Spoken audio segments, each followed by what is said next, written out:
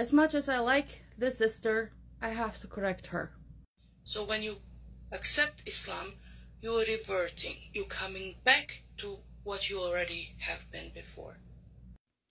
With all due respect, Sister Maida from two years ago, you need to be corrected. I apologize to everyone who I have misled with my misunderstanding. So, my whole life, I've been using the word convert. And when I came to TikTok, I was corrected and explained that that is a wrong word and I should be using revert. And I was given the explanation that I used in that video that the hadith says so and so, you were born as a Muslim. And I was like, okay, sounds right. I went with that. But it never really, like, I've never heard that word anywhere else other than on social media, revert. Like, okay. Anyways, it is not correct.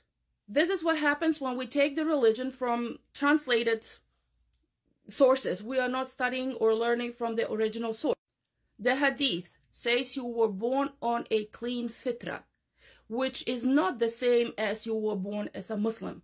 These are two different things.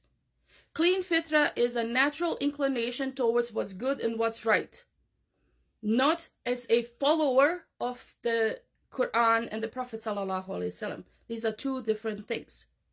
If that was the case, that you were born as a Muslim, then you wouldn't need to say the Shahada when you were saying, when you were accepting Islam. Hear this, you were accepting. So it was a willful decision, choice that you made. You were aware of the choice. You made the choice and you said the Shahada. So you are converting from one religion or no religion to Islam.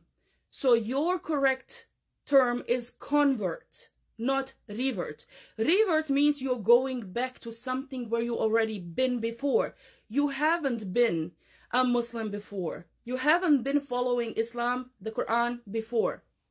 Revert applies to a person who was born in a Muslim family who was practicing Islam or even yourself who now have has accepted Islam and decides to leave it stops practicing says I'm no longer Muslim and then repents and then reverts back.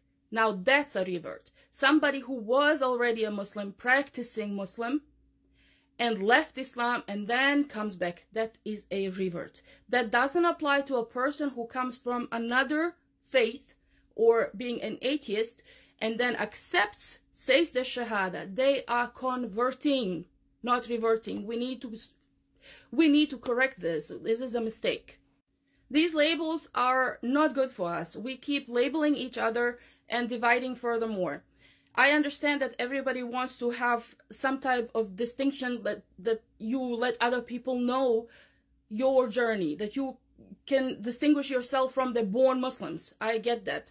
And this is why I am proposing something different. It's not my idea. It's something that I came across from another brother. I can't remember his name, but I love this suggestion and I really wish we would start applying it more. So instead of using revert or convert, because some people continue using the word, either one of these words for more than three generations. And this way they're kind of like always separating themselves from just being a Muslim. He suggested we use the term first generation Muslim. First generation Muslim puts it all together. You are letting people know that you are the first one in your family, but you're also including the term Muslim, which is the most important part.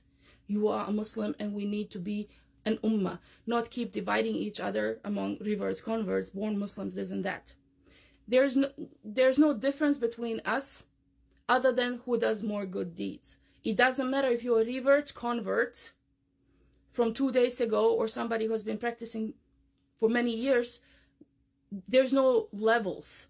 As long as you're practicing and doing good deeds, that's what matters. And I wish we could continue using or start using the term first generation Muslim versus this convert revert. But who am I to say what other people are going to do? I have no say in anything. All I wanted to do is recap our last life and explain that the term revert is not correct in the English language, is not correct from the standpoint of the hadith as well. It was mistranslated and misunderstood. It's not the way that we are taking it. We were not born all as practicing muslims we were not born into islam. We were born with a clean fitra and people who have more knowledge i'm sure will be willing to explain this for, further. People who understand arabic language better and who understand and know hadith more i wish they would take this and explain it a little better than I can, but I just wanted to take this place and correct myself and hopefully reverse the damage I have caused with the lack of my knowledge. So I hope we can go from here and start using the correct words, inshallah. I'm not saying either one is halal or haram. Let's not go there. I'm, I'm just speaking from grammatically, grammatically, grammar, all right, ling linguistic point, which term is better to be used.